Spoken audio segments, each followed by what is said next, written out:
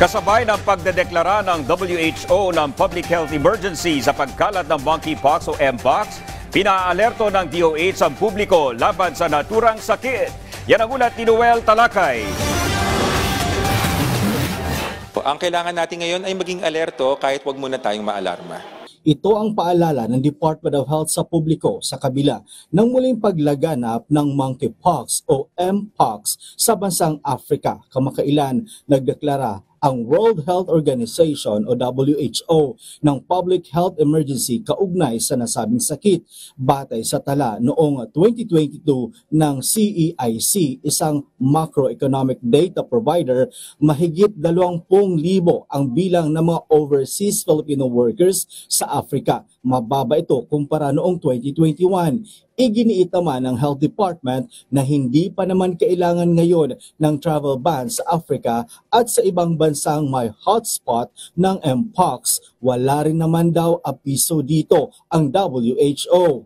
Siyempre, tinitingnan natin ano ba ang ebidensya, ano ba ang mga rekomendasyon ng ating mga eksperto. At ang WHO ay isa sa mga eksperto na pinapakinggan ng ating uh, gobyerno, ng ating Department of Health. Pero para naman sa mga turista at sa mga traveler na mga Pinoy na mula sa Africa at sa iba pang bansang may kaso ng Mpox, pakiusap ng DOH na maging honest sa kanilang health declaration form pagdating sa mga paliparan ng bansa.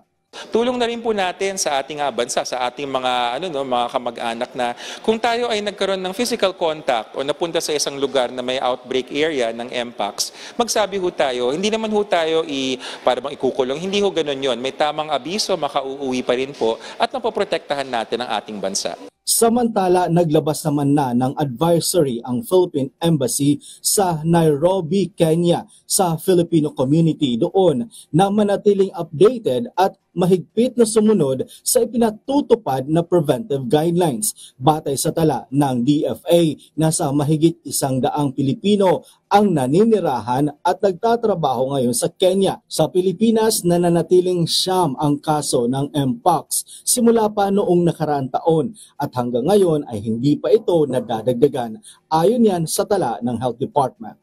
Noel Talakay para sa Pambansang TV sa Bagong Pilipinas.